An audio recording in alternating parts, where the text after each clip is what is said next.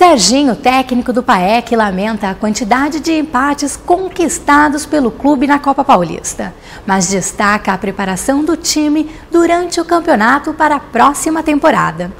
Em 2012, o time da capital buscará o acesso para a Série A2 do Campeonato Paulista. Nós, infelizmente, temos aí os.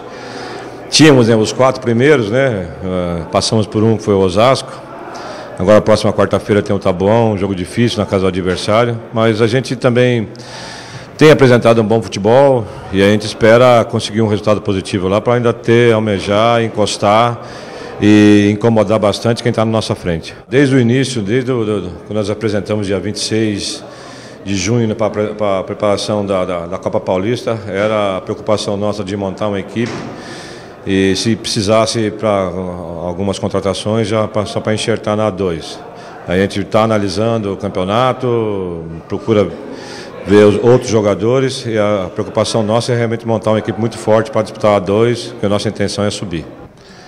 A grande maioria dos empates nós deixamos de vencer. É, nós tivemos o primeiro jogo contra o Taubaté aqui vencendo por 2 a 0, eles com um jogador a menos, acabamos sofrendo um empate no final.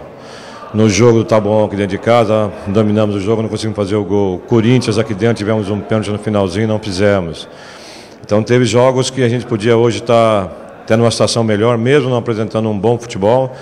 Mas infelizmente numa, numa, competição de três pontos, às vezes é até melhor você perder algumas e ganhar as outras. Né? Nós hoje temos três vitórias, se a gente terminar empatado com alguém que está na nossa frente, a gente já vai ter deficitário nisso.